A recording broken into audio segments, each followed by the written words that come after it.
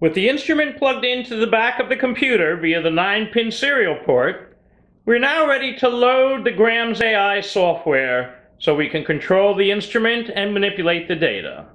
Grams AI consists of a floppy disk which has your registration and security codes on it, and that is inserted into the drive, and then the operational CD itself, which is the system uh, software, is inserted into the CD drive. From this point, we proceed to install the software following the directions in the enclosed sheet that comes with the Buck M500. Do custom? The Grams AI will begin with the auto uh, load sequence and just follow the procedures as shown on screen by selecting Install Products, reviewing the licensing agreement and agreeing to it,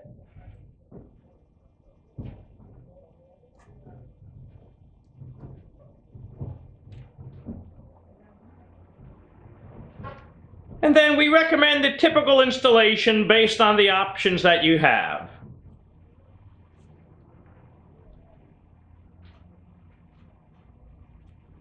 You'll see a default screen showing the options on the software CD, and these will begin to load automatically. Please be aware that this may take several minutes and that there are various screens that the system will flash through prior to its completion of loading the software.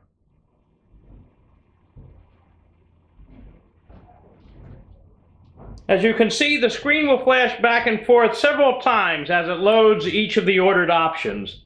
And at the end, you'll see a final setup screen. Prior to loading the My Instrument CD that has the Buck Scientific driver software on it, it is important to run the Grams AI the first time so that you can get a proper loading of all the drivers. At the end of the installation, you can see the little screen showing finished installing the various products that were ordered with the system. Click OK. Close that screen.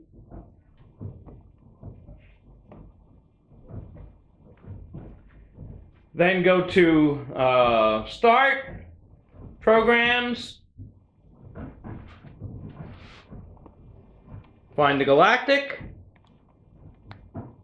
and click on the Grams AI to finish the installation.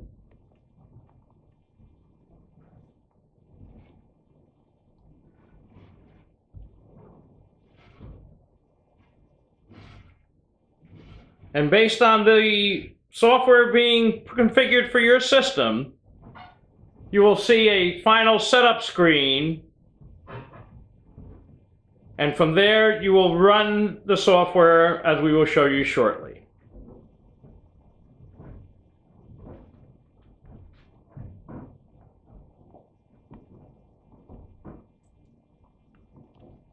All right, click OK when you come to the system viewer registration. Click Yes to update your applications. Click Update for the package installation window. And then OK to begin running the Grams AI. This basic template that you see here is your fundamental Grams AI format. And you can see from the toolbars up at the top, there's all your control and manipulation and data collection features. All right. Once this is run, click exit to leave the software, close your windows, and then eject the Grams AI CD from your CD drive, and you will have a second CD containing the My Instrument drivers specific for the Buck M500. Insert this CD in the drive and proceed to follow the instructions on the installation procedure.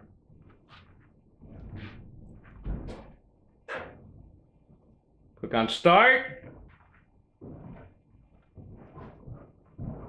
Run.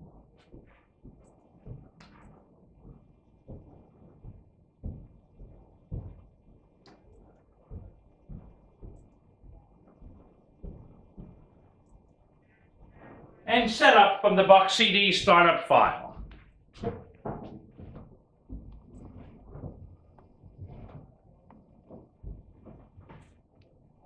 This will load the appropriate drivers for the Buck M500. Use the default file locations by clicking Next.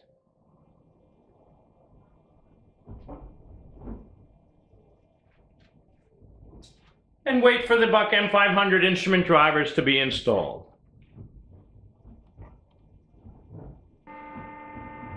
With the M500 on, you will see a little window appear at the end of the driver installation that asks you if you want to run the Buck M500 software. Click on Yes and verify the initialization between the PC and the M500. You're asked initially to define your communication port, which is COM1 or whatever plug you've set on your PC. Click OK and you'll see the instrument software show the collection screen and COM port initialized in the upper left-hand corner. At this point, you know the installation of the software and the connection of the cables is complete and satisfactory, allowing you to run. You click on Instrument and then Instrument Setup. We can now communicate directly with the machine and set any of the features such as the beginning wavelength, the uh, resolution scale, whether it's percent T or absorbance, the scan type, the uh, scan time, and the uh, gain setting, which is usually 0 or 1 depending upon the accessory. One of the first things we need to do is collect a background scan because this is a single beam infrared. So we click on Collect, Instrument Setup, and from this screen we want to make sure that the scan type is set for reference mode as seen in the drop down box if it is not selected. Our gain is set for zero, and our scan time is set for three minutes. At this point, we click on the red Scan Now box, and our single beam background reference scan will be stored in the instrument and the PC. And you can see the data on the screen as the instrument begins the scan at 4,000 wave numbers and continues down to 600.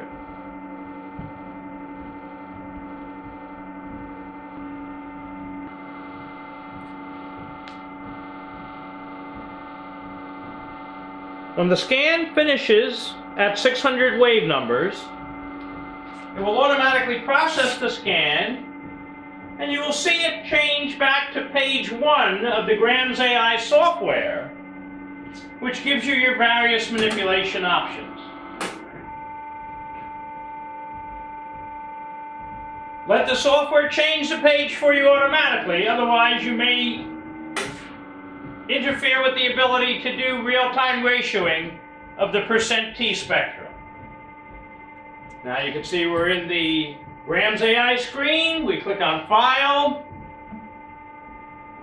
Save Trace As, and usually you give it a default name such as Background. Remember where you put the file because you will need to recall it later when doing your transmission scan. Save this in the appropriate data directory or wherever you want to keep your final spectra.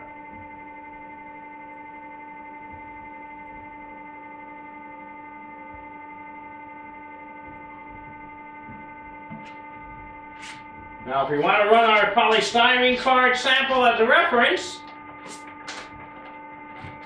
insert that into the holder. Return to the grams menu. Select collect. Instrument setup. And now use the browser screen to select your background file, which we had just run. and put that in memory. We can now see that we're in the ratio mode for scan type. Gain and time have stayed the same. And now if we click on scan now, we can see a real-time percent T spectrum of our sample as it's being collected. You may also just collect the single beam spectra and do the ratioing within the grams AI after the data is collected but this is a convenient feature to allow you to see the actual spectrum as it's being collected.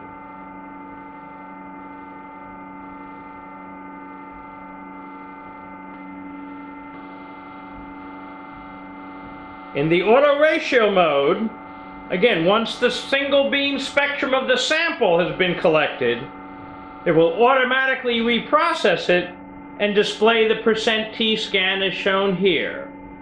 Please be aware that if it is necessary to save the single beam raw data files for each sample, you should not use this procedure, but collect the single beams directly and ratio them afterwards.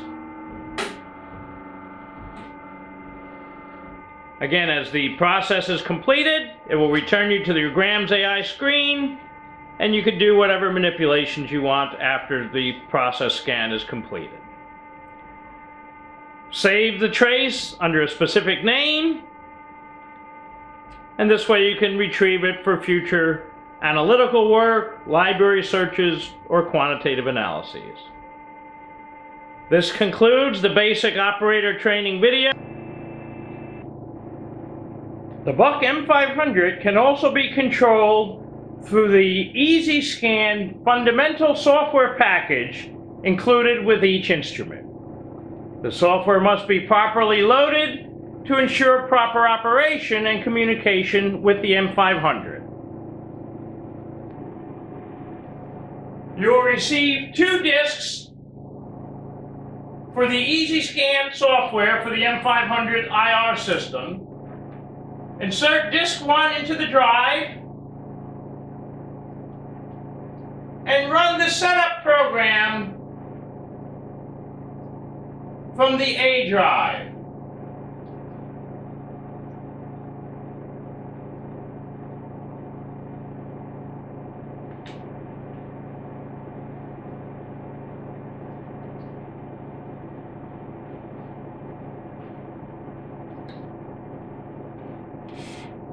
The software will load several Windows-based files and prompt you for disk 2 after the initial files have been loaded.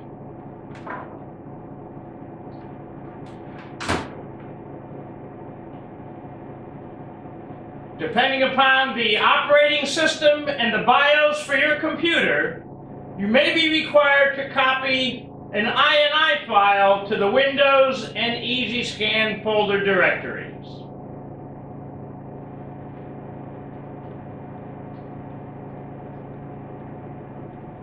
Disk 1 contains a rather large file, and it may take a minute or so to properly load it into the system. When prompted, remove disk 1, insert disk 2, and follow the procedures on the screen.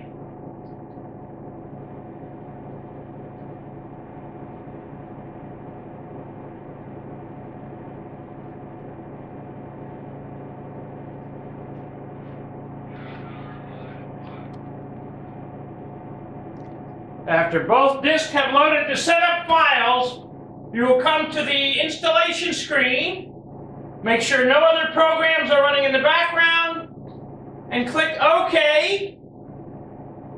Then position the icon and the cursor for installation of the EasyScan. Select Continue to create an EasyScan group for your desktop and the system will load and install the files.